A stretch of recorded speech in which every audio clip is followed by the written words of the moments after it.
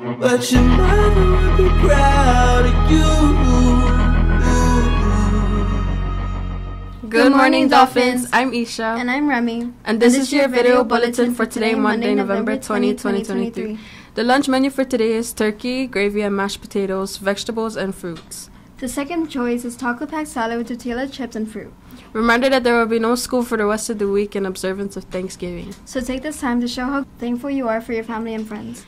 And now for your club news. The Leo Club will be accepting new members and you can sign up using the QR showed on the screen. That's all the news we have for you today, Dolphins. Be sure to check the MHS website. Follow MHS Productions and Dolphins Duku on Instagram. And subscribe to our YouTube channel to stay updated. Once again, I'm Isha. And I'm Remy. And that's, that's all we have for you today, Dolphins. Dolphins. Enjoy, Enjoy your Thanksgiving, Thanksgiving break. break. Laters. Bro. I bet your mother would be will crawl this earth, then fall in the dirt to feed the crow.